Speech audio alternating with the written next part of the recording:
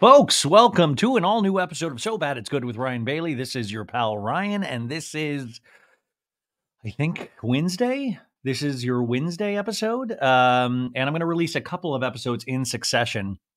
Sorry I didn't release it this morning. Now, I was going to, there's an episode I did uh, that is a little more serious in nature, and I just didn't feel like putting it out yet uh, because it was just not where my mood was at. Um, so I hope you understand. Sorry about the delay, but uh, we're going to do a solo pop culture roundup because there's a lot of things that I want to talk about in terms of everything happening in the world of pop culture. There are things happening actually, even though time has appeared to have frozen. Uh, if you're at your parents' house or your house, that liminal period between Christmas and New Year's is always uh, uh, it's a, a veritable shit show in your head of where you are, what day it is, what time is it, have I fed myself, all of those things until we're given permission to live free again when we hit the new year. Now, I know you're saying, listen, I don't do any of that. Good for you. You are a healthy, happy, uh, well adjusted human being. Obviously, I am not. So, uh, welcome to the show. How did everybody? I, I, I, did a show, I think, on Christmas. So hopefully your Christmas went well. Hopefully this period of time is going well for you. Um, uh, let's see here. The other uh, couple podcasts that I want to mention that I'm on uh, to check out is on I'm on the new episode of Scheananigans with Miss Scheana Shay and Mrs. Scheana Shay and Kiki Monique at the Talk of Shame. Uh, and I think that was a lot of fun. It was like a lot of pop culture stories from the year. And I've told you before, it is always a trip to podcast with Scheana to sit across from her. Uh, it is uh, a trip. It is, I can't, it really, it, it, uh, I know t- it tickles me. I know that's the weirdest way, but it, I do talk like a grandfather now. It does tickle me to do that podcast with her the couple of times I've been on. And it's a really good, but I think we have a good flow. And and Kiki, I always I'm, also I'm going to be on Kiki Monique's podcast, Pop Crime, uh, covering some of the more uh, I think criminal activities of the year in terms of pop culture. I think that should be out today or tomorrow. I'm not sure. And then there is this a new podcast by uh, Ringer, the the Ringer Reality TV. It's a Spotify podcast, and the Ringer is just a fabulous a bunch of podcasting people. If you haven't checked out their stuff, it's great. I know Zach Peters is over there, um, but I always I always love the what the Ringer has always stood for, and I'm a huge fan of Bill Simmons is the one I believe who started the Ringer. And if you don't know Bill Simmons, you know, he's primarily or started off, I think, as a huge sports guy in terms of talking about sports, but his love of pop culture, of the real world, the challenge of dissecting uh, movies from the 80s, 90s, uh, and today, he I just think he is second to none and I know his home is over on Spotify, but I'm just a huge fan of him. But they have the Ringer Reality, but they did this uh, amazing. Jodi Walker put together this amazing three part series um, called. Uh, let's see, let me pull it up here so I can talk about it with you guys. It's called Anatomy of a Scandal. Um, in American, in American Scandal, uh, an anatomy of a scandal. Uh, scandal. It's a three part series. I think I appear in part two and part three, and I had such such fun doing the interview with Jodi, and I think that might be worth checking out. And I remember doing this interview. I think we did this a little bit ago, but it was wild to talk about this thing that we had just been so obsessed with and getting a little bit of distance on it. And I always find it interesting, and I've talked about that on this show. Is you know the story itself i think we know a lot of the big pieces of it even though i think uh, the artist formerly known as Raquel Rachel. I think we're going to hear more of her side of the story coming up soon uh, on her podcast because you know everything happens on podcasts nowadays. Um, but I, I was shocked in talking to her about even my relation to the scandal in terms of how I feel about it now, as opposed to how I felt about it then, and how it works with any kind of pop culture thing is that there's a white hot heat, a white hot spotlight on something. And then over time, that kind of dissipates, even though there's little like little strings, little strings that get left around that we can still kind of explode or pop up. And of course, with Vanderpump Rules season 11 starting January 30th, we're going to see that story that we've already seen on Instagram and social media and TikToks. We'll be able to see what they actually film, and it'll be interesting to put those pieces in it. Now, back in the you know, back in the olden days, we used to just have these shows, and whatever the shows showed us was what we kind of saw. We kind of saw like a 180, you know, not the full picture, but a 180 of what production was trying to tell, what story they were trying to tell. And I think now with social media, and it's good and bad, is that there's more of a 360 view of something. Of, okay, well, we didn't see this part in the film, but we do know over here in reality, this did happen but it's also interesting to see as an audience how, like I said, I relate to it, how you relate to it. Um, and there's a part of me, as I think even after I did this interview, where it just got to be exhaustive in the terms of, oh my God, there's got to be new things to talk about. There's got to be, even though I know, I mean, that same excitement, that same fire is still there it's just a little different. And I'm so curious about how season 11 will do. I think we'll all be watching it, right? But I'm curious if they're going to try to tell any news stories or it's going to be centered around uh, this scandal still. Now, of course, we know from the trailer, uh, Lala, and then of course we Miss Scheana being on the Hot Mic podcast and uh, talking about uh, talking about how hard it was for her. Um, and she was crying on that podcast. And I think it's going to be interesting to see how, not how we feel about Sandoval per se, but how we feel about Ariana. And it seems like, and if you think about your own lives, there's nobody in your own life, if they're getting so much attention, so much attention, that is bound to be a double edged sword at a certain point, right? Like, even if they're doing everything right, which I think Ariana did, everything right everything right. And you know what who who said it? Was it was it julia fox? Or i'm trying to I'm misquoting but there is no perfect victim right? There is no perfect victim. And for us to even um, want that is is weird right is, is not really that's not there is no perfect victim so you know we can't be judging uh, how many you know, how many SponCon can one person get? You know, like, well, it's too much. I, I've always thought, like, that's so ridiculous that I'm listening to people say, oh, it's too much now. Or like, are you kidding me? You would take every opportunity that you could get to actually be able to make money to try to like and all the SponCon that I think Ariana did was done uh, with a little bit of humor. It was done well. I mean, Dancing with the Stars, Chicago, all of that stuff. But it's going to be interesting to see how her fellow castmates react to that because they're all people in the same business as well. And if you are in the same business, like, you know, therapists will always say compare and despair. Don't compare because it'll be despair. Don't compare with anybody because you're going to put yourself in a world of hurt. But even just being an actor a little bit myself over the last couple of decades, it's hard. It's hard not to look at what everybody else has and wonder why you don't have that.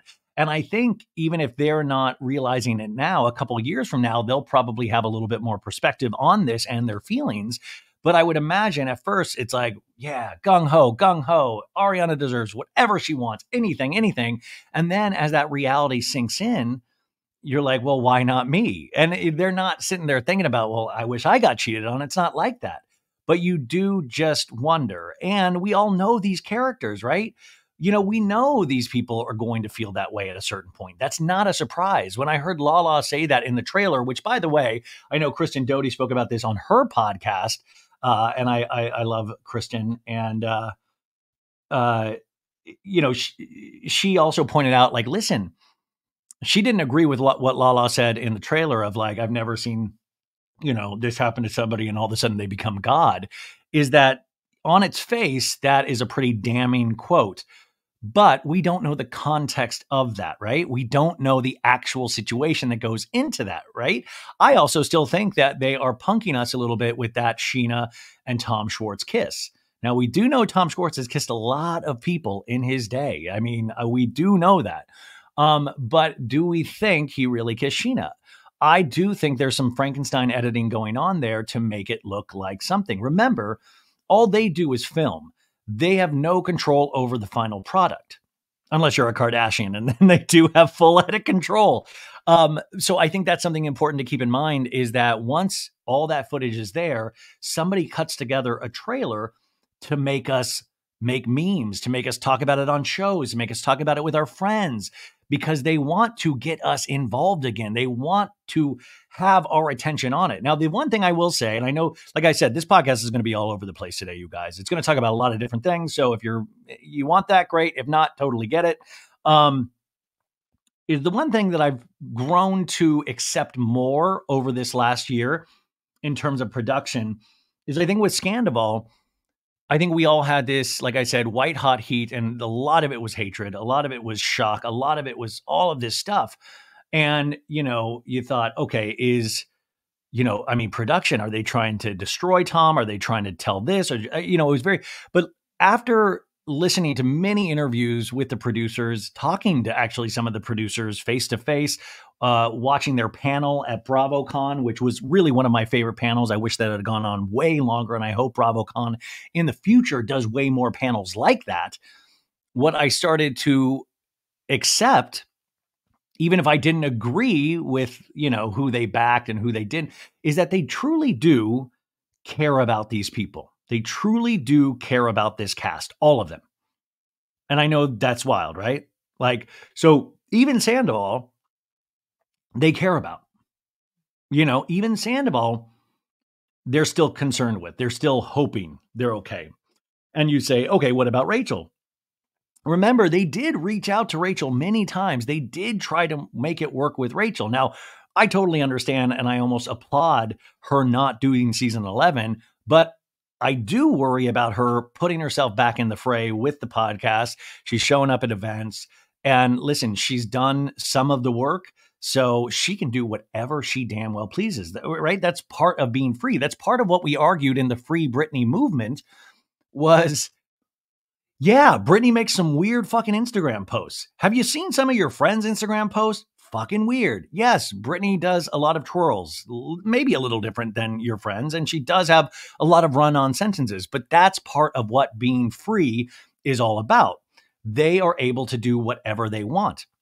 Now, unfortunately, as us commoners, you don't usually get people uh, talking, you know, like, you know, I'm not putting a spinning video up and people are like, oh my God, dissecting the moves. What's going on with him? Oh my God, he's crazy. But Britney and people of the like have to deal with that every day. But that is part of being able to be free.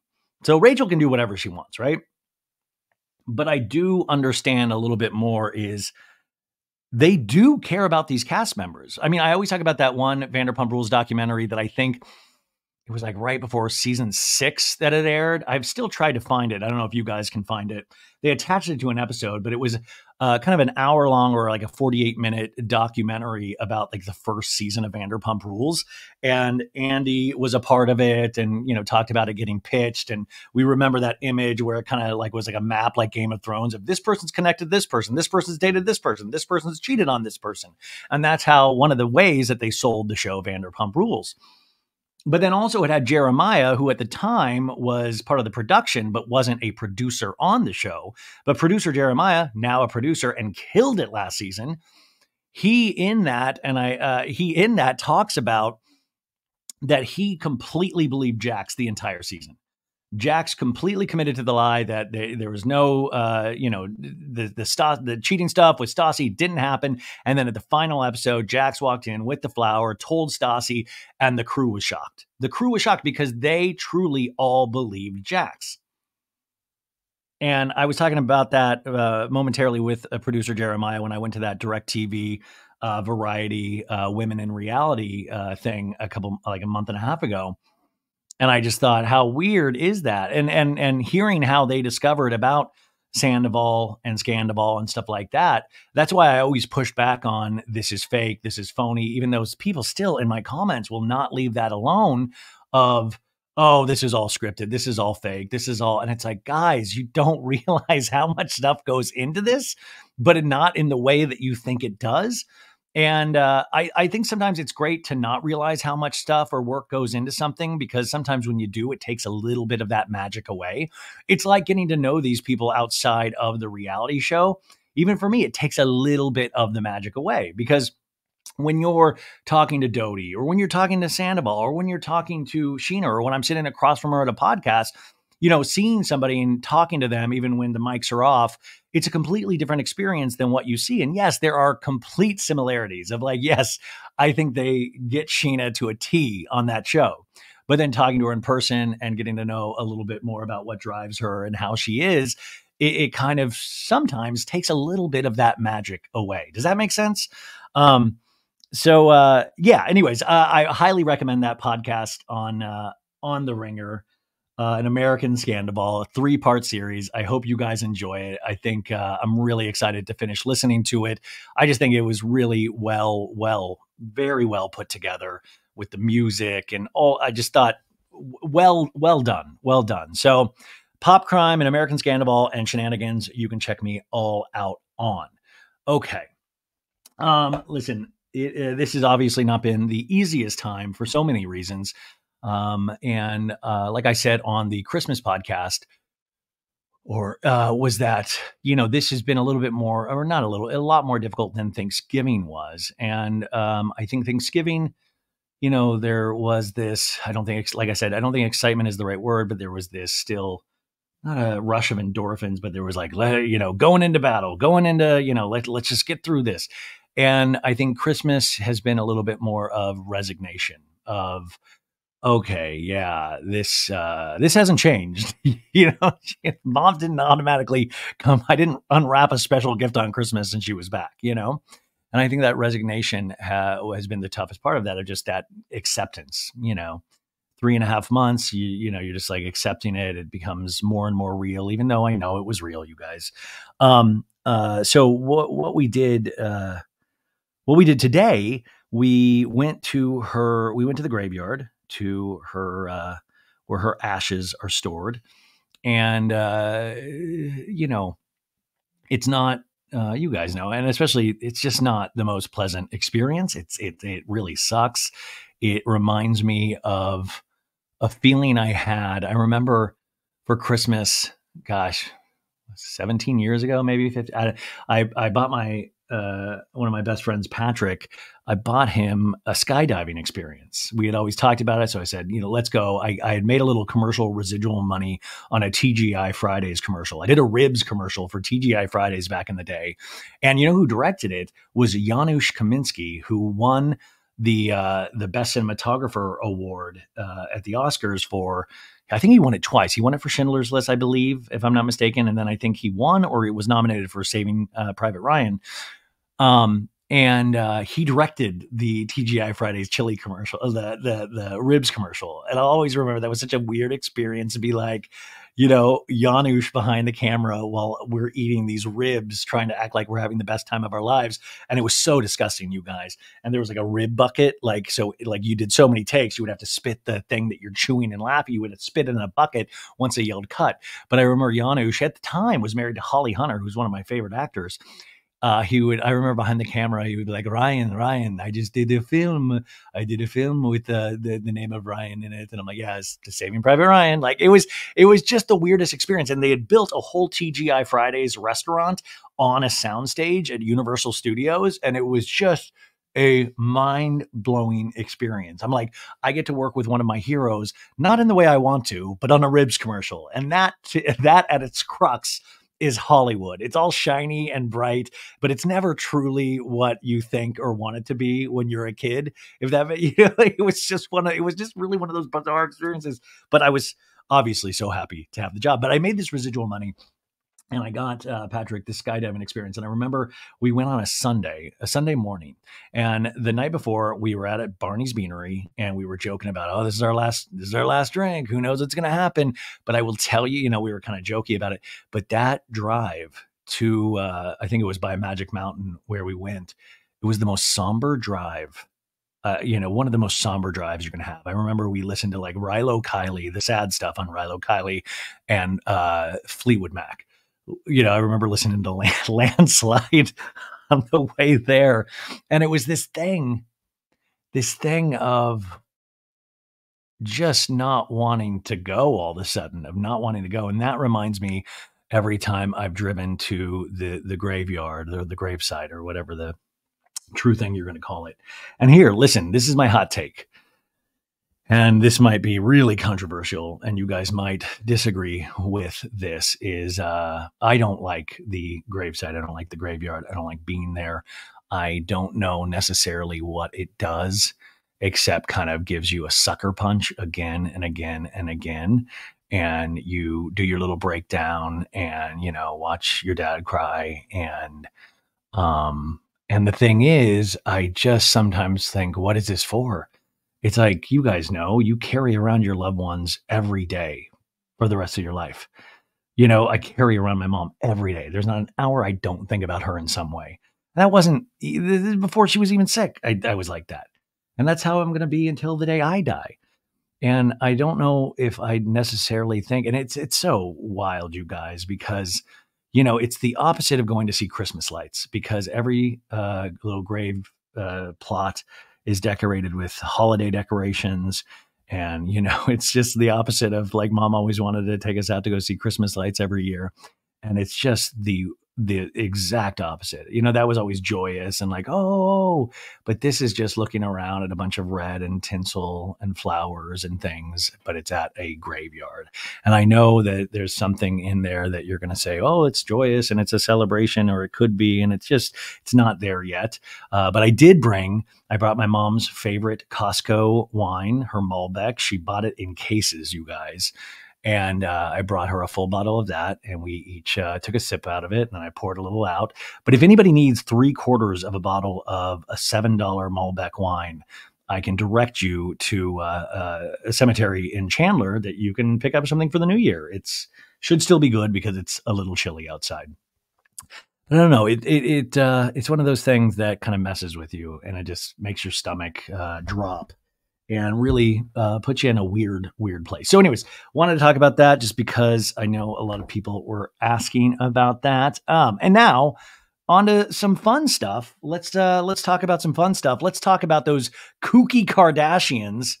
Um, you know, seriously, eat the rich, you guys. Eat the rich. It is becoming more ridiculous. Their holiday Christmas party every year. Uh, we had a little bit of a downtime because of the pandemic, but we are back in full force. And I don't know because I think the Kardashians now are in uncharted territory in terms of celebrity and wealth.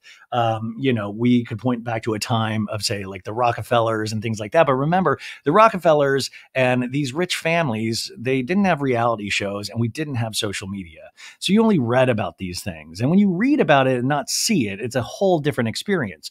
But this, their holiday parties are a celebration, obviously, for themselves and their friends and family, but it's obviously also to show us to show us. And I think the question remains sometimes as they get wealthier and the gifts and the parties become more extravagant is what are they trying to show us?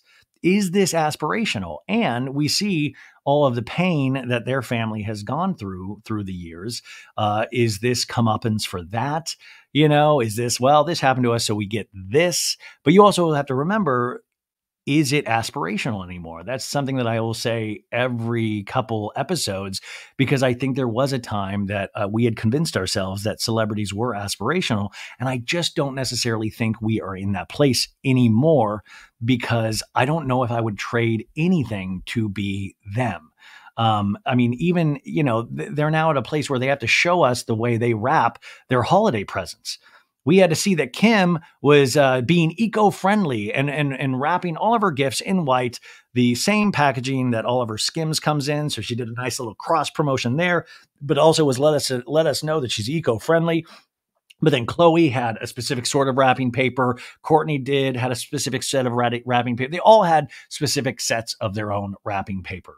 And I also wonder how many people they employ during this time because listen, I think maybe there's a world in which Khloe wraps one gift by herself, but the rest, like they must have team meetings. And sometimes we've seen that on the reality show, which this season of The Kardashians on Hulu, I know a lot of people don't watch it, but I thought it was really, really fascinating in a lot of ways. But I do wonder if at some point, since they are on hallowed ground that not a lot of people have watched, uh, not a lot of people have walked, walked, where is it going to go from here? Like I I don't know because it's getting bigger and bigger and you know, are they going to make huge mistakes? Maybe.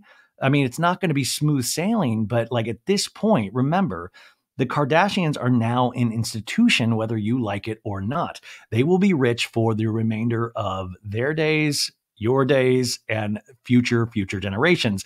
What I always say about the Kardashians though is there's going to be one. There's going to be one rebel. And you know, I I would say maybe it's Rob, but I think Rob is genuinely a little bit lazy, so I don't think he's going to make a stink. I have my eye on North West Uh, it's going to be very curious to see. Uh, we've seen how she is growing up, but one is going to write a tell-all. One is going to write a tell-all that's going to knock us off our coal mining asses. It is going to be insane, and we're going to know more details. But they've spawned so many iterations of their family that one is not going to love it. One is not one is going to rail against the way they were raised. And when especially they see how the rest of the world is. And I think that's going to be the interesting thing that that's what I'm talking about aspirational is that none of us would possibly ever want to deal with that. Could you imagine? I see some of you guys, it's hard enough to potty train your kids. Imagine having to explain to them at this point generational wealth in the year 2023 and how now they are part of the political socioeconomic discussion they are part of the discussion in terms of our government.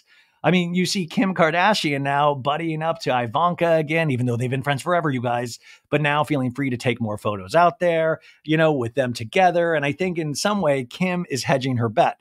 Kim's always that person that's, I'm going to say, middle of the road, you know, like, hey, I like Democrats, also like Republicans. It's going to work out for me either way. And you could disagree with this, but I do think there is some truth to this. So they had their, uh, their Kardashian Jenner Christmas Eve party. And uh, I'm pulling some articles here from Daily Mail, some things I've seen online. Now, this is the Daily Mail headline.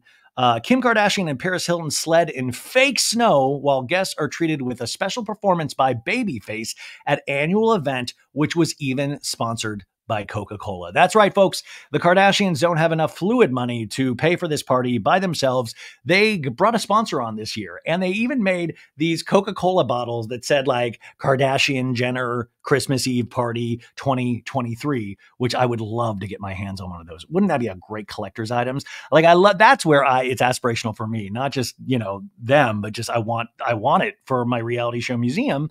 Um, they had bottles made. So Coca Cola sponsored this event because, once again, it's about what they're showing us. It's not really, you know, part of it is, of course, for the love of their friends and family in the holiday, but also it's a brand opportunity.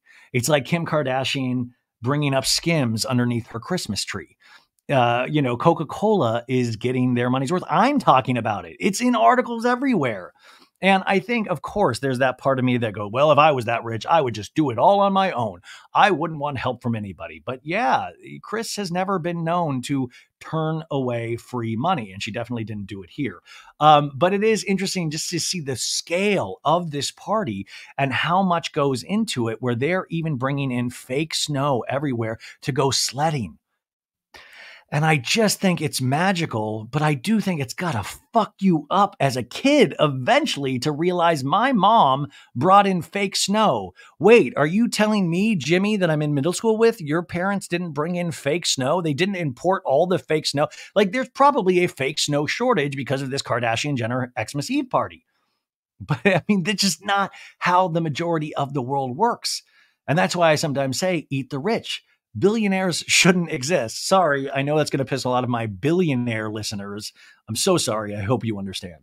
Uh, so this event took place in their hometown of Calabasas, California, which I do think eventually they should just buy. They, and I don't mean a house. They should buy all of Calabasas.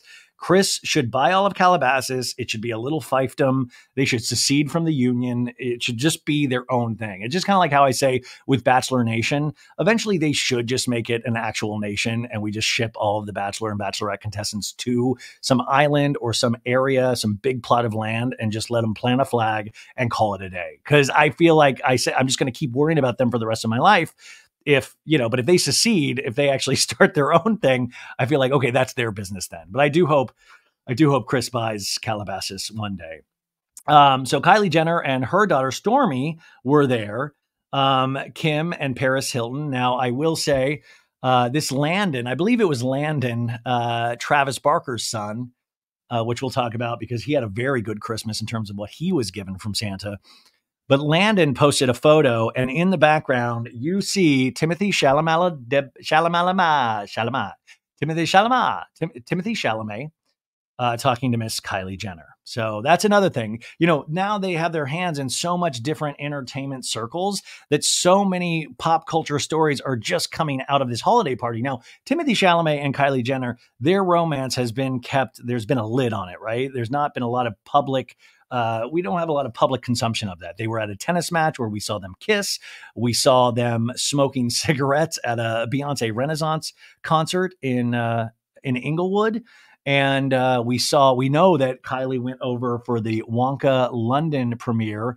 And we had somebody on our show. We had uh, we had Emily Orozco from uh, Orozco from Access Hollywood let us know that she saw Kylie Jenner in the elevator after she did her interview with Hugh Grant and Timothée Chalamet.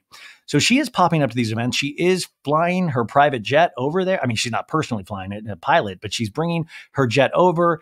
And we had word that Timothée Chalamet wasn't there and that they weren't together. That was a thing I, I heard from Club Chalamet, which is the number one source for your Timothée Chalamet news. Uh, and it turns out she's usually wrong. But Timothée, uh, Timothée Chalamet was there. He was at this event. We saw them talking.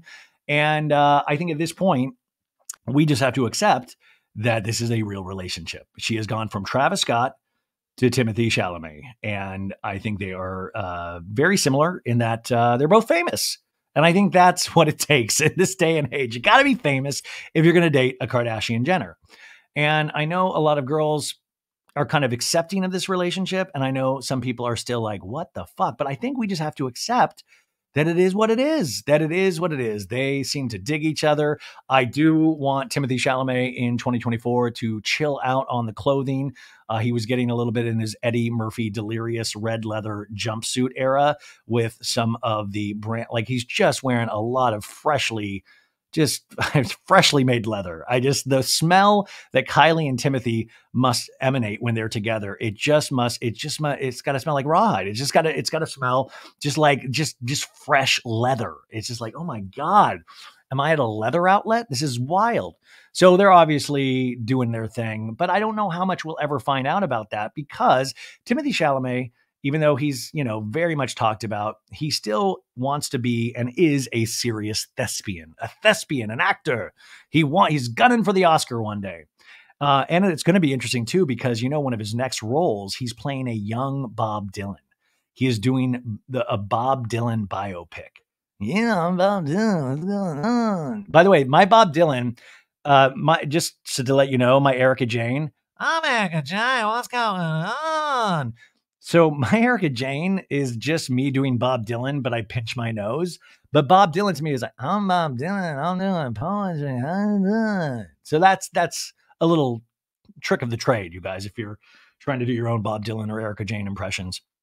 But he's playing a young Bob Dylan, and nothing makes me laugh harder than thinking about Timothée Chalamet playing early recordings of Bob Dylan. Like, you know, going from Kylie having to listen to Travis Scott to Kylie potentially having to listen to Bob Dylan. Like, oh my God, I would love to see Kylie Jenner go through a Bob Dylan phase. Wouldn't that just be incredible? Because, I mean, you know, you know, Bob Dylan is a tough listen for those who aren't used aren't initiated into Bob Dylan. Like I had a Bob Dylan phase where I listened to everything he did. I wrote, I read the uh, biography, I read his book, I watched documentaries on him. I think everybody, it's important to have a Bob Dylan phase to really appreciate what he meant to music. And I wonder if Kylie's going to go through that too. Now the Kardashians, I know I'm talking a lot about the Kardashians, but hey, we're here. Um, the other funny thing that they do is, you know, Kourtney was especially guilty of this, is they would always wear band shirts of bands that there's no way in fucking hell that they listen to. Maybe Kourtney now, because of Travis, like she's wearing more suicidal tendency shirts, that band. And I know Travis is a huge fan of that. And I believe they named Rocky after is the drummer in Suicidal Tendencies. I could be mistaken on that, you guys. Um, but uh Kourtney, you know, you'd see Kim in a Metallica shirt, and I'm like, uh, Kim, do you like Ride the Lightning? Well, I know you might know Enter the Sandman, but do you know For Whom the Bell Tolls, Kim Kardashian? Okay, so anyways, This party is happening. Uh, all the fake snow in Calabasas is over there. And uh, the property was lined with several lit Christmas trees, and we're talking the fanciest, uh, the fanciest of trees. Now, inside the bash it was decorated with logs stacked up very high, and there were massive gingerbread houses constructed. Logs stacked up very high. This is good because they can reuse this for the end of the world. You know, they'll be able to use this for firewood. Um, this event, like I said, was sponsored by Coca Cola. We had pictures of Kim and Paris in couture gowns sledding down fake snow. Sledding down fake snow. Beautiful. Now, another thing, the family pulled out all the stops, including a performance by R&B icon Babyface, Kenneth Babyface Edmonds. Now, this guy, obviously insanely talented, but I sometimes worry about Babyface because it feels like his schedule is packed with just doing things for his friends. Like, please tell me Babyface got paid for this. I mean, I know he's friendly with all of these people, but it reminded me, remember in Real Houses of Beverly Hills when David Foster would always have Babyface there? You know, like we're tinkling around the keys on the piano in Malibu, and it'd be like Babyface, or he, you know, David Foster would do a lot of his concerts, and Babyface would be there. And I'm like, man, I want Babyface to get back to making Babyface music so people can make babies to Babyface music. But the fact that he's out there just at these holiday parties, they like they trot him out for these holiday parties. Like Babyface seems to be at every kind of function that is not surrounding his own music implicitly. Like it's always some event. Um, I don't know. I just think that's interesting. So uh let's see what else here is the uh, the stories. A lot of stories were shared to social media about this. The uh, Kylie and Stormi they were in custom Dolce Gabbana gowns. Uh, you know what? And five years old, I got my first Dolce at seven, so I think five. It's a little early. It feels like bad parenting, maybe. I mean, have you ever? I mean, the Kardashians don't. Do they even know about Old Navy? Do they think it's just like a funny commercial that doesn't exist? Do they know these things exist? And do they ever want to cosplay as us? Like, is like, what is Chicago ever like? Mommy, uh, can you take me to Old Navy? Like, like honestly, it, it, it seems like something that is in the making. Now, you've seen some of these pictures and they are just insane. Kris Jenner is out and about. We do know Tristan Thompson was there. He was allowed to come. Um, we had Faye Resnick there, uh, one of Kris Jenner's really good friends.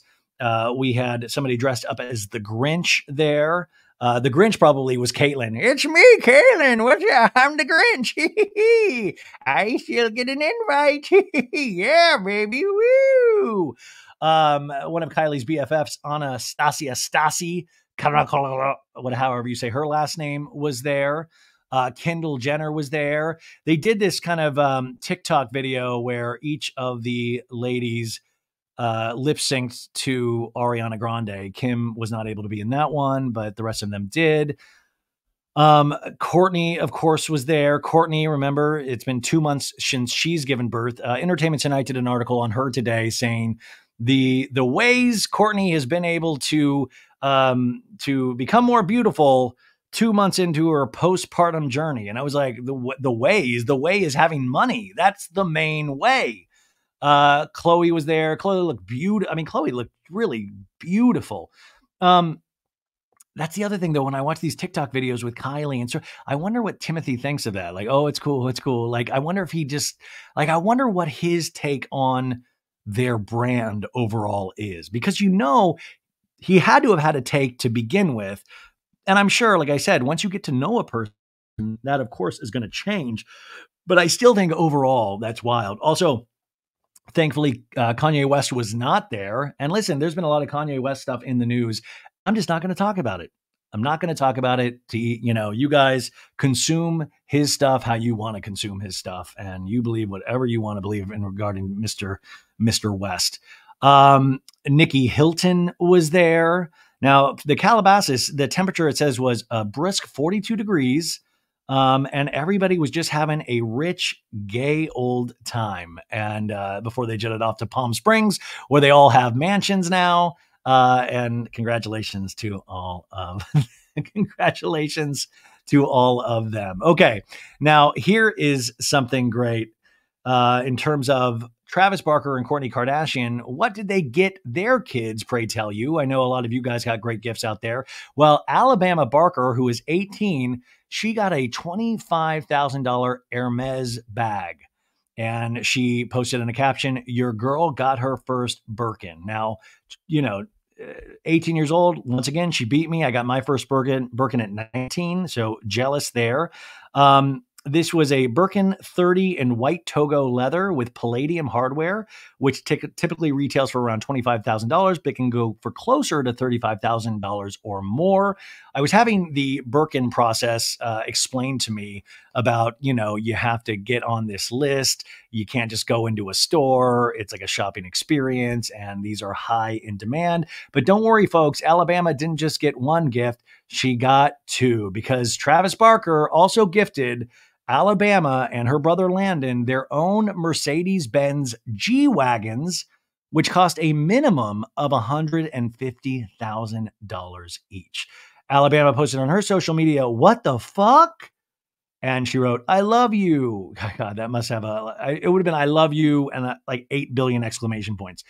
Imagine waking up Christmas morning, not only an Hermes bag, but also a $150,000 G Wagon now, do you think, you know, if these people are used to these kind of gifts, do you think Landon got jealous that he didn't get some brand of Hermes? Like, do you think they keep score of like that? Of like, okay, you got a $150,000 car. I got a $150,000 car. You got a $25,000 purse. I got an iTunes gift card. Oh my God, I'm pissed. It just seems a lot, right? It seems extravagant. And I don't know what your take on this, how you relate to this, how it makes you feel. Like, are you just genuinely excited? I know some people just love to see the extravagance. And a lot of people say this about Real Housewives as well. Like, oh, bring back the wealth. I want to see the opulence. Oh, I love seeing the wealth. But at a certain point, I think, just like talking about Ariana earlier, do we eventually get to the point of, well, you've had too much, right? You've had too much. And it's not just having too much, it's showing that you have too much. And what our relationship with that is now as opposed to what it was. And that's why I constantly talk about this stuff because I find it fascinating of not just where we are, but where are we possibly going to go? How much bigger is going to get? Because they are just adding billions. I'm talking billions on top of billions. I mean, Kim Kardashian, remember, she is now in financial markets. She has her own wealth group that she is starting, like in terms of investing for other people. I mean, it is wild. And all of this because Kim just doesn't want to sit down and take the actual bar. She will do anything not to become a lawyer. She will she will do movies and TV. She will throw everything in her path just so she never has to take that bar. She took the baby bar, took her a couple times, but she did it and she passed. But now she's like, fuck that. Hardest I ever worked in my life. I would rather start a wealth management group, do three movies, two TV shows, and plan parties, do my skims. And that should be enough, right? But it'll always be that thing that I think will always be like, what happened to the bar, Kim? Or maybe just me, because that's me. Man, I just get going. I can't stop. We're only we're already 42 minutes in, and I only hit two or three stories. Okay, moving on. Uh, this is kind of uh potentially troubling news is that uh, Pete Davidson uh, seems like he is potentially having a rough time again. Um, he canceled all of his shows unexpectedly. He canceled a dozen shows uh, starting last week and running through the new year. And uh, that is uh, obviously horrible. We know he struggles with mental health, with bipolar disorder, uh, which he has been very brave and open about.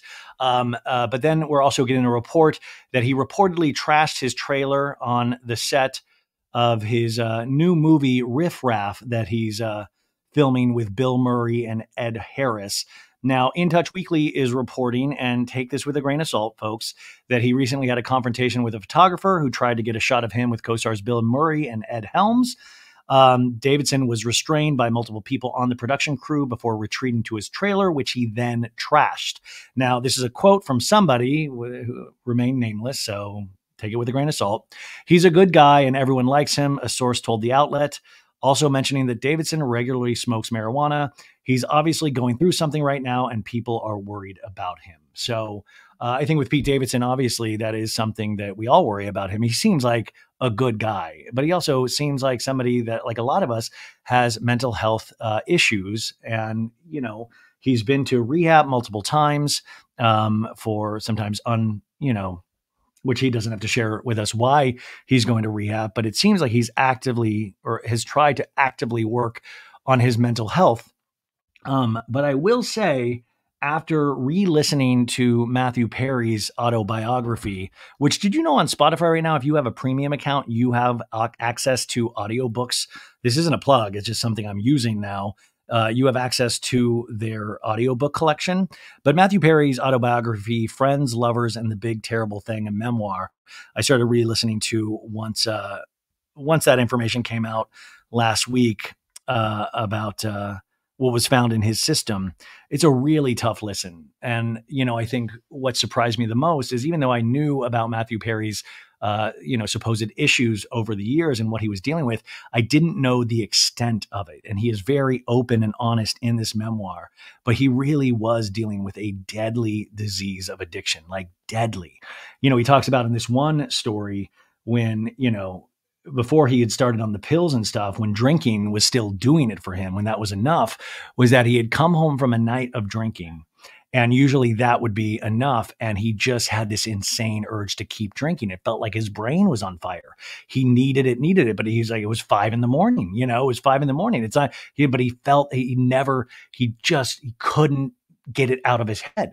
And to think about somebody struggling with that day in, day out for their entire life, and then having to go through uh, medical emergencies because of this that deteriorated his system, his body, and to come from such high highs, of course, of being on friends that never really fully satisfied him because, like a lot of us, he was broken, you know, at a young age.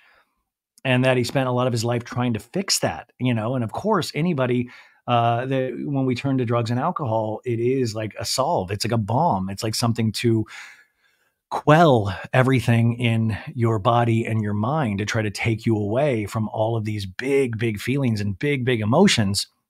And you know, I I've had uh, I've had two and a half drinks since I've been here, and that's very little for me around this time of year and uh, it's been important to kind of sit in those things. But I, thinking about Pete Davidson is that it's not one of these things that you can just let it slide. It's like it, it's like a diet. You know, it's like you have to work on this every day for the rest of your life, and just that thought can be sometimes so daunting and so depressing that it's hard to move forward. It's hard to move forward because if you know that you're going to have to face this struggle, this pain, and some days, of course, it's easier than others, then that's really hard to get through life. And you're looking sometimes for any escape to just make yourself feel better and you're cursing yourself why aren't you normal? Why don't you think like other people do? Why that you know it's a lot of self blame self harm and sometimes that can exhibit in really harmful ways towards other people. So he canceled all those shows. We still don't know exactly why, but obviously Pete Davidson is going through something very big. So please keep him in your thoughts this holiday season because this thing it doesn't get better you know it's one of those things like i said you constantly have to work on now uh, here's something interesting uh, and really sad as well we'll get to some fun stuff in a second is that uh, the actor Lee Sun-kyun um, found dead at 48. Now, you might not recognize his name, but you probably have seen or have heard about a film that he was in.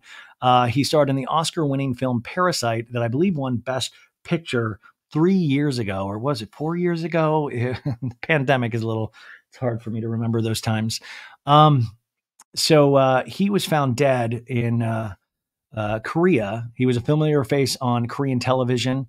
And of course, in that Oscar winning uh, film Parasite, he was uh, found dead in Seoul. He was, like I said, only 48 years old. Now, the interesting thing here, uh, they found his body in a parked vehicle in central Seoul just before 11 a.m. yesterday. And there was allegedly like charcoal briquettes or like burning briquettes or something. So it is being investigated as a uh, probable suicide.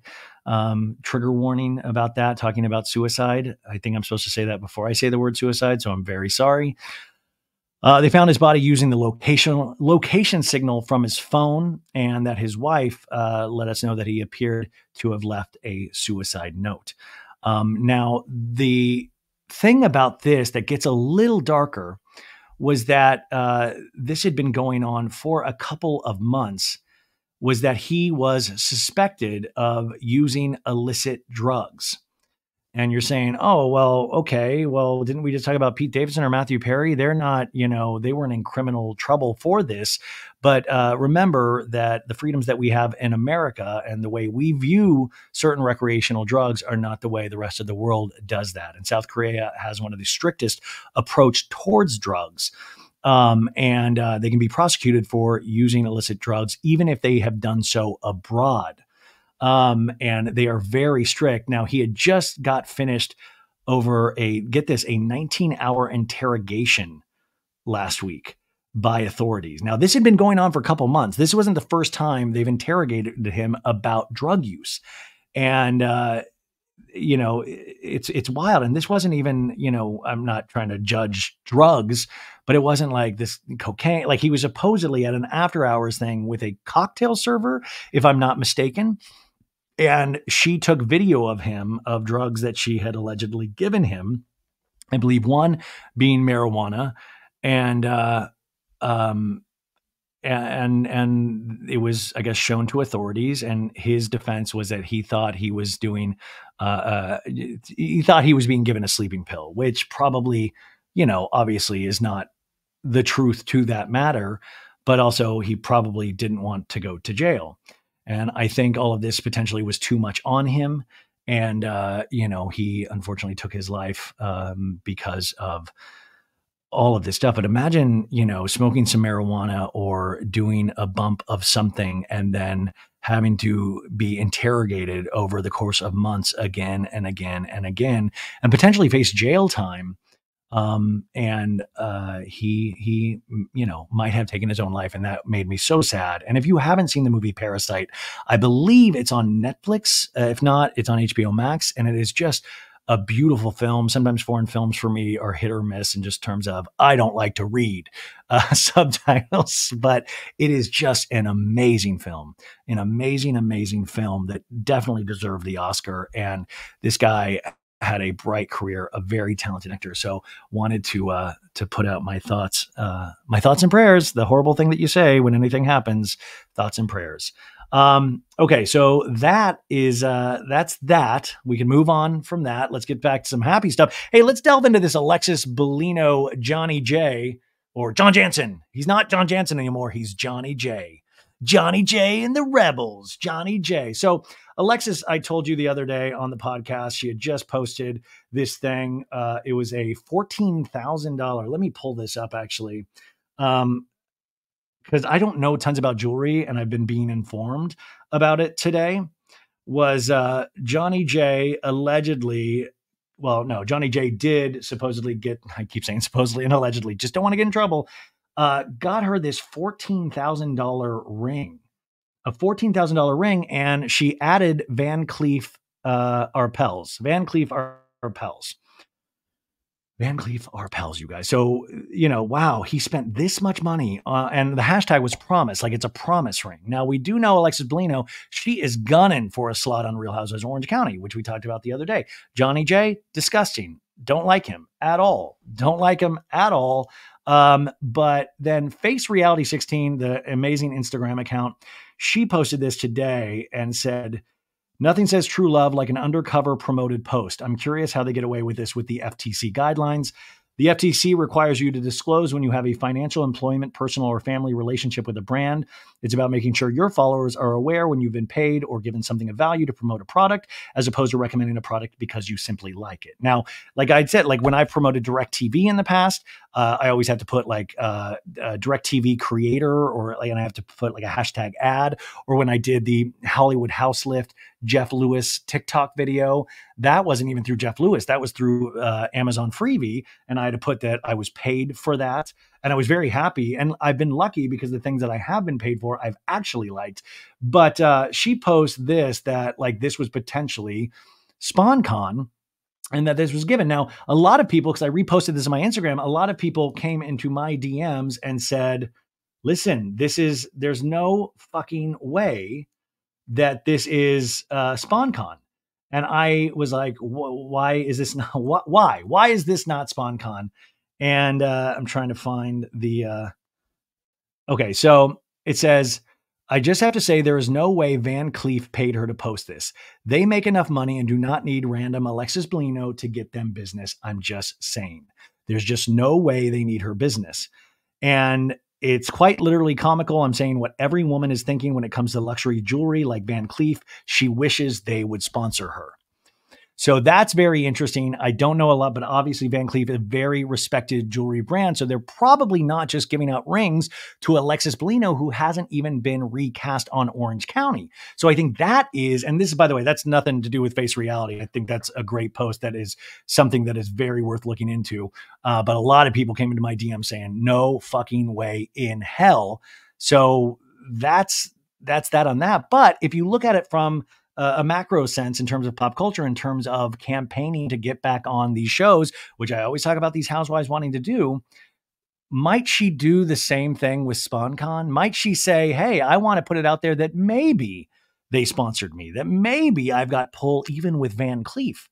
Like she's not officially on Orange County yet, but if she keeps putting it out there, if she keeps being shown with Johnny J and that how this romance is blossoming so fast, you know, magically right before filming starts in January. Well, what is that? You know, like I think putting it out there, you're letting us, the viewer, make our own decision, but you're leading us in the direction that you want us to think. And I think that's what's fascinating. So if she's going to do it with SponCon, she might do it with relationships, whatever works. Now, I'm not saying that Johnny, Johnny J and Alexis Bellino have not done the hippity dippity. I think there's a world in which two things can be true at once in terms of that. It's just like Travis Kelce and Taylor Swift. I don't think it's PR relationship per se. I think it's as real as it can be for them, but it's inherently going to be a PR relationship. And I don't think Taylor or Travis minds that we actually get excited about that. It helps everything. I, unfortunately, it doesn't seem to help Travis Kelce's game. Ayo, that's a sports joke. Even though I don't really watch sports, the Kansas City Chiefs lost again, you guys. Sorry to all the Chiefs fans out there. Um, so I thought that was something interesting. Keep your eye on what comes next because uh, it is very it's it's very interesting. Also, um, Andy Cohen, folks, Andy Cohen. Uh, we are now uh, looking towards his triumphant return to CNN New Year's Eve spectacular that him and Anderson Cooper co-host. Uh, now, there was a little bit of hot water. He was not able to drink last year because the year before he got potentially too uh, hammered and was a little sloppy on air. I loved it, but a lot of people, I guess, complained. Um, and so they put the kibosh down and said he can't drink. But now he's been pushing to drink again. He's been pushing to have some celebratory tequila shots with Mr. Anderson Cooper, a respected journalist.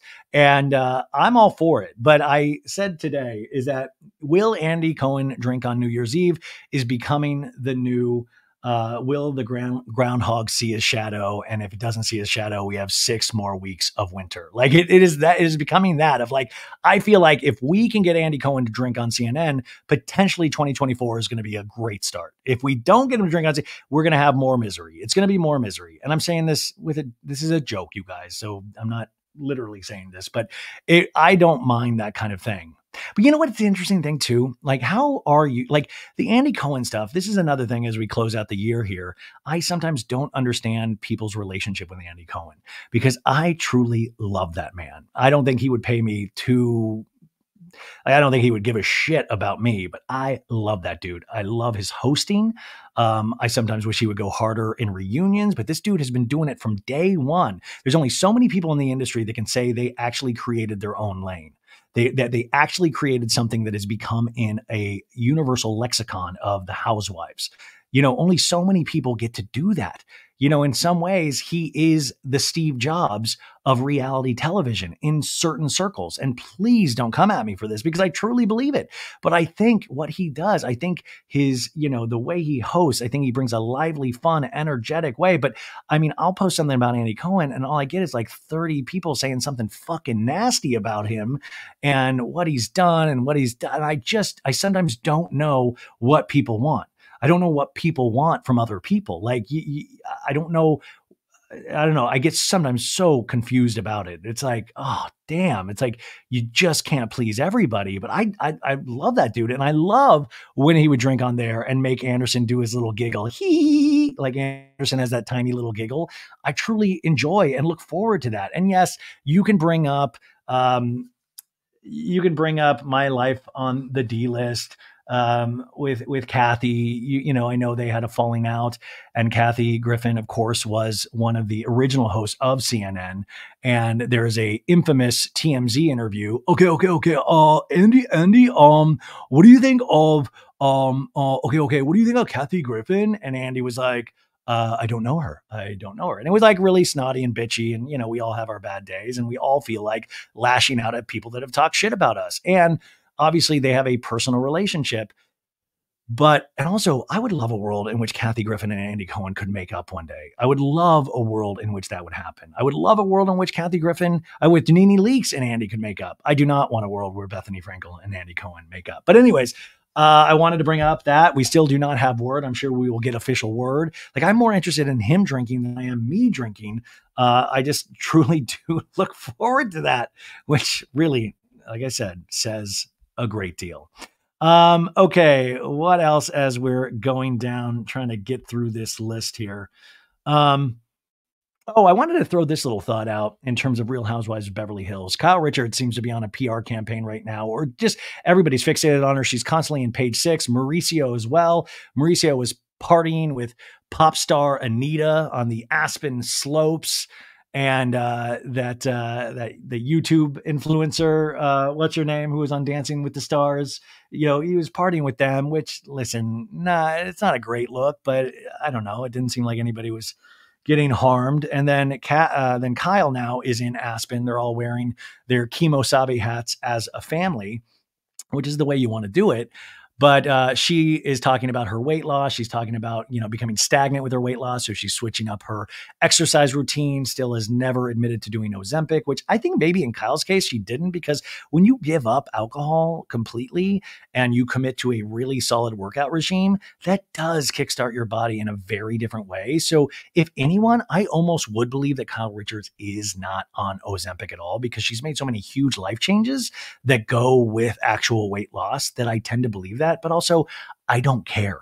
I don't care who's on Ozempic. I don't care. I just don't. I don't care if Oprah's on it. I don't care if Erika Jayne's on it. I don't care. You know, if you have the money, do it. And as long as diabetics don't need it and you're not taking it from them. Um, and I think we talked about that on Scheana's podcast as well but they're there. We still don't know in terms of what this relationship with Morgan Wade is, even though she is popping up still a lot with Kyle. Uh, Kyle also said in an interview that her and Mauricio are still in therapy. They want the best for each other, they want each other to be happy. And like I said, I don't think this is a prediction, but what my thought was is that I don't think they will ever come back as a couple.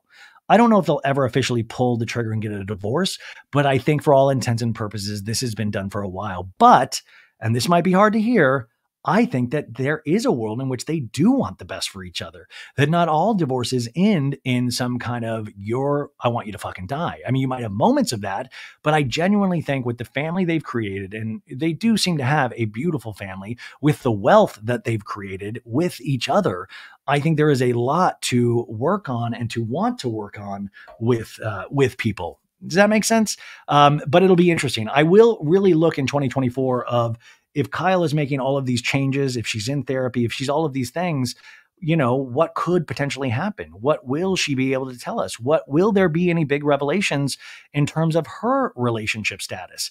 Um, and I'm really curious to see how that goes. Now, I'm going to be doing another episode about Southern Charm, about the this past week's episode, which I thought was fantastic we're already coming up on the season finale. I guess the next episode is the season finale of this season of Southern Charm.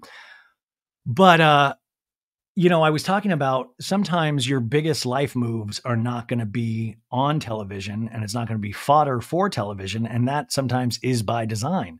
So, a lot of these moves that Kyle is making now, I think might be big moves that we're not even aware of because there is not a camera in her face. So, she has the freedom to do that because that's the part where I do agree in terms of reality stars is when they're really going through something and the cameras are up, it's really hard. It makes things that much more difficult to actually see how you really feel about something because you have to deal with that. You have to deal with your cast members, and then you have to deal with how we respond to that.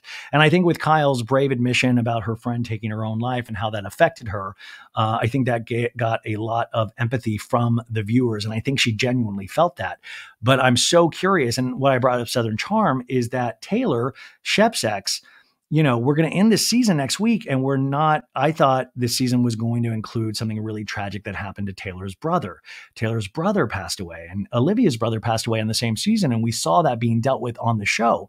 But this now must happen off camera, which we'll probably be able to see at the reunion or hear a little bit about it. And when I heard that, or when I saw that this wasn't going to be covered, when I saw the preview for next week's season finale, my my main thought was good. Oh my God, good, good you know, I think if it's filmed, I'm going to watch it and I'm probably going to find it magnificent and fascinating reality television. But if it's not, it's good because they're able to have those moments for themselves. They're able to deal that without having a video scrapbook of one of the worst times in their life. No matter what you think of Taylor, no matter how, and by the way, she's made piss poor decisions. No matter what you think of her, nobody can argue how horrible that has to be to lose a sibling. And especially we see how close they were. She calls, she FaceTimes him in last week's episode. I mean, that's really wild. Oh, you guys, back to the Kardashian Jenner holiday party. I left this out. Uh, I saw this on an account by Wig Hello Drama, which is great. Here is North West with Kathy Hilton and Paris Hilton.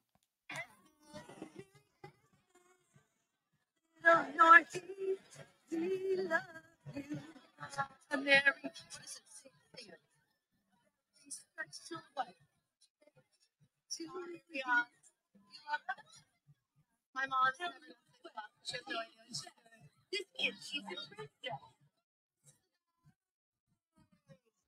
Um, so uh this was posted on TikTok and Instagram, and it had the caption of North had no idea what was going on. That was Kathy Hilton singing to North with Paris Hilton going, eh, you know, with her baby, with her babyish voice instead of her deep husky voice we hear in Paris in Love season two.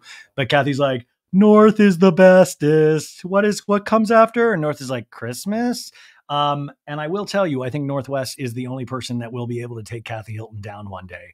Uh, I, I, Kathy, I would watch your step with North. North will unleash. Rinna couldn't get the job done, but I think North West eventually will. We like North West is primarily probably one of the biggest secret weapons America has right now. She could, her power is becoming so great, and she's only like nine years old.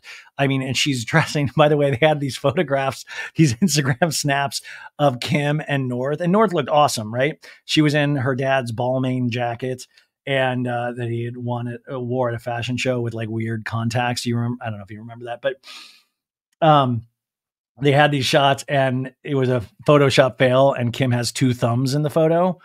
I mean, God, these guys, and you know, sometimes when you see these people, like I've seen Teresa Giudice and a lot of these housewives in person, and they actually look like their photos. I mean, for the most part, Teresa will sometimes go a little bit more overboard than actually how she looked, which is amazing.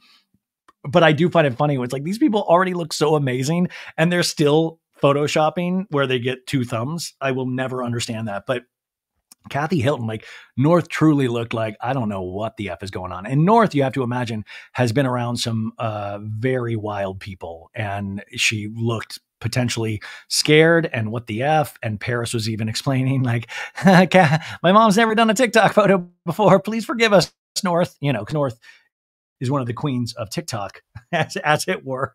But they always lock comments, which I think is smart on the the TikToks that North posts him. And I think that is very smart. Do not let us comment on anything with her online yet. It is just, it's just, it, that would be just too dark. We should not be able to say what is in our head sometimes, uh, especially when it comes to kids.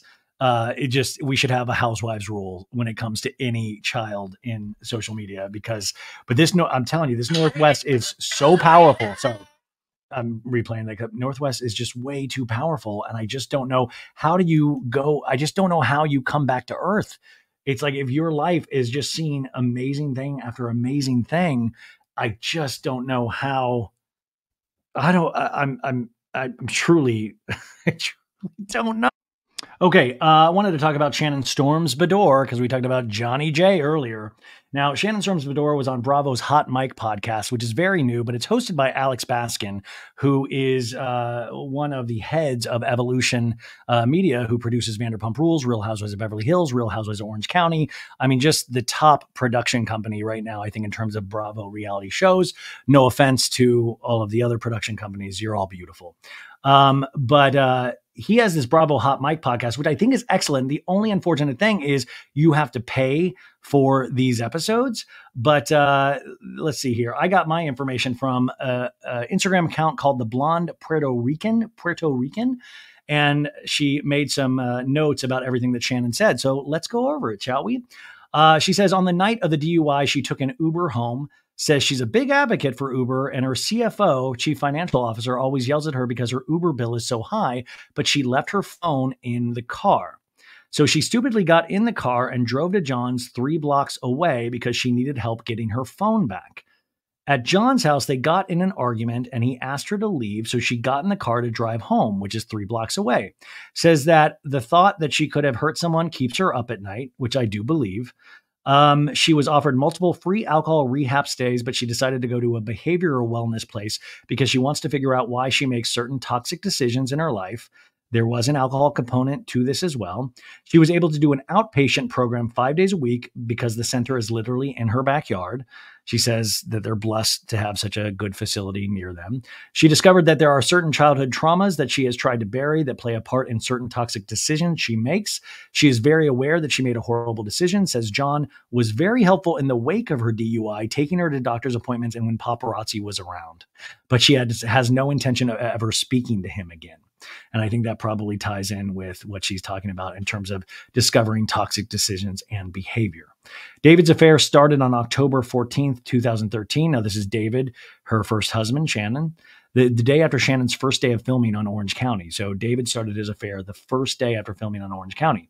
She says that if BravoCon is in Vegas again, she's bringing Archie and he will have his own meet and greet. I think Archie. I think Archie, I mean, I think we should do an Archie con. I love that dog. The Tres Amigas are planning a tour for 2024, which is interesting news because her and Tamra had a falling out. So hopefully they have patched things up because I think Shannon needs her friends around her now more than ever. So hopefully this is true. Um, I mean, I don't really care about the Tres Amigas shows, but I hope that they have mended that fence. After the DUI, she broke her nose and her arm, and she went to go stay with Vicki, and Vicki took care of her. Imagine Nurse Gunvalson and Vicki knows her way around a hospital. We've seen her in one many times. So I think she is potentially a good nurse at this point. But imagine that. Imagine Vicki Gunvalson putting you on the mend. Like imagine, imagine that of like, how's our little patient? Right. Like just coming in. Yeah. Uh, she thinks that Vicki has found the one in Michael, which is her new boyfriend. And I've met Michael now a couple of times, and he seems like a nice guy. He was in a boot at BravoCon because he hurt his foot. Um, but uh, he, he, you know, I just had a couple innocuous conversations with him and he seemed like a nice guy. She thinks that, yeah, she says that John was in her ear on the day of the last reunion telling her that she needed to defend him. So, John Janssen, old Johnny J, getting in Shannon's ear. Now, this is a big interview to get. I mean, now, of course, that is her executive producer, Alex Baskin. Uh, but I do think, like I said, in terms of Vanderpump Rules, I think Alex genuinely does care about all of these people. You know, even if we don't like them, I think he genuinely does care. And like I said, that's taken me a little of time to get my way around because you're using their life as fodder and there's a commerce element to it. I mean, that's one of the biggest elements is to sell soap, you know, which is why TV was invented was to have something to sell soap on, to sell products. That's how it all got invented. So there is that element of finance and commerce. And when a major life event happens and you are on a reality television show, it's a really delicate balance. And I think we've all talked about it is that we do know that Shannon is not sometimes the most stable person. She's very emotional, she's very sensitive. And even if I don't agree with some of the decisions she's made or a lot of the things that she said, it's somebody that I still root for. Um, so I'm curious if she does have enough time and space to actually be able to talk about this. I'm glad to hear about the outpatient stuff, and they are going to start filming again, from what I hear, in January. So it'll be interesting to hear this. And that's the thing of like, I wonder in terms of production if they really are going back and forth of Alexis would be good in a lot of ways because it would be a lot of mess but is Shannon at a point where we can put her in that type of mess? And you might be thinking, well, then put her on the injured reserve list. Take her out of the game because we want to see it. If she's not going to do it, fuck her. There might be that element that people have said that. So I don't really know what's going to happen. I don't know what's going to happen in, terms of Shannon Beador, but I just worry putting yourself in that environment, especially right now of all times, is the healthiest place for her, even if she's talking healthy. Guys, you know, we can talk healthy all we want, but it doesn't take away that you have to go to bed at night with yourself and those dark thoughts that can creep in and be intruders in the night. You know, all it takes, I mean, you can, you know, darkness can come really quick at any time. You guys know that. Um, so we'll keep an eye on that. I'm really curious to hear, but I mean, obviously Shannon is signed up for the season right now. We'll see what happens. Um, and she, a lot of the spotlight is going to be on her because of this accident. And we already left in a bad place at the reunions because of Shannon, but we have the John Janssen relationship, we have the accident, and we have Alexis Bellino. So the spotlight is mainly going to be on Shannon. And I just don't know if she is going to be able to to do that. I don't know. So, uh, that's what I'm thinking about, you guys. Okay, three last things, and then we'll get out of here. God, this always goes way longer than I thought or would want potentially. um, okay, I wanted to talk really briefly about the movie Saltburn. Now, um, Emerald Fennell, Fennell, uh, Fennell, the director, was on So Bad It's Good uh, about a month and a half ago, I think, and I was so overjoyed to talk to her. I've seen Saltburn two times, and like I said at the time, if that movie, if I was in high school when that movie came out, it would have probably become uh, my whole personality. I thought it was dynamic in the way that a young person could potentially appreciate it in a way that maybe, you know, we get older cannot.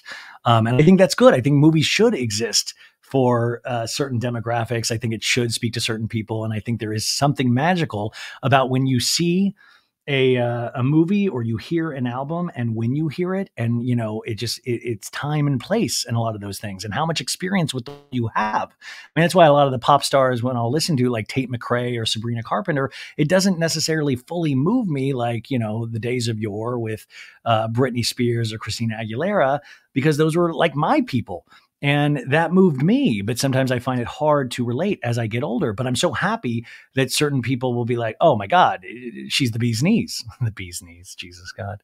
You know, or even Renee Rapp, who I talked about last week. You know, like I want to hear it. I want to have the ears. I want to have those youthful ears that is able to hear it, able to feel it, have it be able to move me uh, in my life. And, uh, you know, sometimes it just doesn't work that way. But I think movies are the same way, right? Um, and I think one of the things that I hate about social media so much is our it's not the rush to judge well it is a rush to judgment. It's i fucking hate it. I hate it. Oh this is horrible. And it's like first off do you know how much like i said earlier goes into making these things? Uh, i was talking about this a little bit on the christmas episode in regards to maestro the bradley cooper film that's on netflix now. And i was seeing some of the same discourse. And by discourse i just mean i fucking hated it. Like that's like, like oh it sucks. It sucks. And it's like no it doesn't. Like, even just on a technical level alone, it's amazing. Like, if you look at Maestro, some of those shots, and yeah, Bradley Cooper is doing these big, grand things. He's like that as an actor as well. He's like obsessed with props, smoking a cigarette, the voice, it's a different voice. It's all about that. And yes, there's something masturbatory about that, but I like that. That's, I, I'm like that. Are you kidding me? I mean, like, I love those big swings. And especially coming from a theater background, I see those things and I'm like, this guy is really trying. And maybe that sometimes is what some people don't like is seeing somebody that, like, oh my God, it looks like he's really trying. But uh, also, uh, Carey Mulligan's performance in Maestro is just amazing. It's just amazing because Bradley Cooper has the showy role, which even in being showy, it's so difficult to the amount of work to learn how to conduct a certain piece, to be able to talk, to be able to move, to be able to direct that on top of it. It's just a gargantuan undertaking that blows me away. But Saltburn, a lot of the same way of just Emerald wrote this film you know, put it out there. It's now on Amazon Prime, so you can see it for free. And there's some really intense scenes, especially one with the bathtub, that is uh, potentially, I mean, shocking. Uh, it seems like it's shocking for some people, but it's like, have you seen fucking movies? Have you seen a David Lynch film? Have you seen a Fellini film? Have you seen like, I mean, have you even seen 80s screwball comedies? Have you seen Revenge of the Nerds? Have you seen American Pie? Like, are you are you kidding me? Like a guy, uh, you know, Barry Keoghan, one of the main actors in Saltburn, does a, a fully nude dance at the end. And it's amazing. He does amazing. I was very jealous of his manhood, but also just jealous of the bravery it takes to do that in front of a 30 to 40 person crew. And this guy's dancing around in the nude proudly because that's what his character would do. This character would be like, I now, I don't want to give any spoilers away to the movie, but I do sometimes wish we would actually rethink in how we approach these things that we consume. Is that like, first off, you know, it, I just found it, it's like, it's us, you know, us sitting on our fat asses all day with like a Diet Coke and a block of cheese. I'm talking about myself, and then just writing something sucks online. Something sucks. And I'm like, no, the fact that it even exists, even lifetime movies to a degree, the fact that it even got made, first off, that's, and I know art isn't, you know, you're not supposed to be like, well, I need to know the ins and outs, but the reality of that situation is there are ins and outs to consider. This is a technical medium, filmmaking. There's so many people that work on films to create a world. And I think anybody taking those big swings, which I think Saltburn is a big swing, and I think Maestro is a big swing. And will I ever watch Maestro again? I don't know. I don't know if I will. Maybe scenes but I think it moved me in certain ways. And I thought the topic was in, interesting in certain ways. I still don't know if I really fully know a lot about Leonard Bernstein or what actually moved him, but I think that was also another one of the points because his life was really a big secret.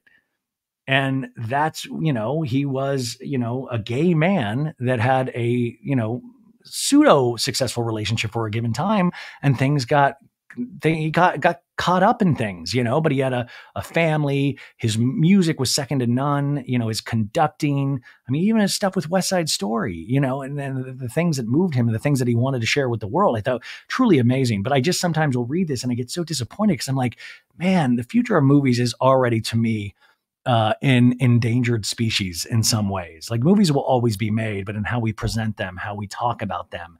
And I think these things are worthy of being talked about. Like, listen, I do a sometimes five day a week podcast talking about the ins and outs of certain moments of reality television. But these things do need to be talked about, and they need to be talked about in a semi intelligent way where we can't just throw things away. We want people to come towards things. We don't want to move them away from that. We don't want people to be scared of starting a movie. We don't want people to be like, well, this sucks even before I watch frame one because all of this work goes in it. They're trying to share something with us. That's what art is all about trying to share something, trying to share this itch that you can't scratch, this is desire to do a Sisyphus, uh, uh, a Sisyphus, a Sisyphusian, whatever, a task of rolling this big boulder up a hill, having it fall down again and roll it back up. It's it's like going into war, making any of these things, and I think that you can't just poo poo something um, that quickly. And I also think we need to live in a world, and I think sometimes we do, that things take time. You know, things sneak up on you things will hit you differently a year after you've seen something and you'll reconsider it.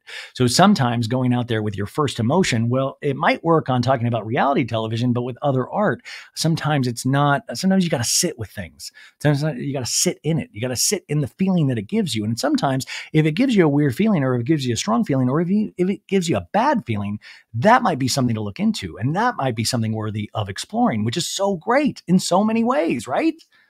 Okay, good we're in agreement. Oh, also, I just remembered this when we were driving over to the uh, the graveyard.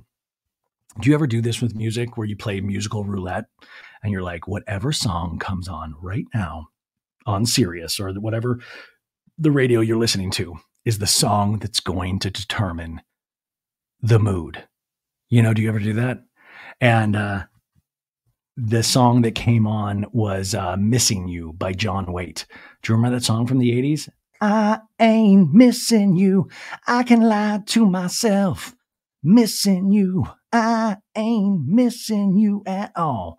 So, anyways, it's a great song. Fun, not fun song. It's deep song, but missing you. And I thought that was great going over to the graveyard. But just, it's kind of the same expression about movies, is what I feel about songs, is that that song came on and it gave me a little bit of an electrical charge a little bit of a something to something to hang on to. You know something to to grab onto? Because my feelings were in the gutter. But sometimes you'll hear a song at the right moment or you'll watch something at the right time and it gives you a little hope. It gives you something. And that's what i think is so great about art and especially music which on the Patreon I did a, a ma- uh, did a mix the other day, a mashup that I really really loved that I want to share with you guys. Um, uh, sorry, I just got sent a TikTok video and I was looking at the TikTok video when I was, but I think that's what the great thing is about any kind of art, whether it be Saltburn, Maestro, a song that you're listening to in the car, is that it does, it makes you feel a little less alone.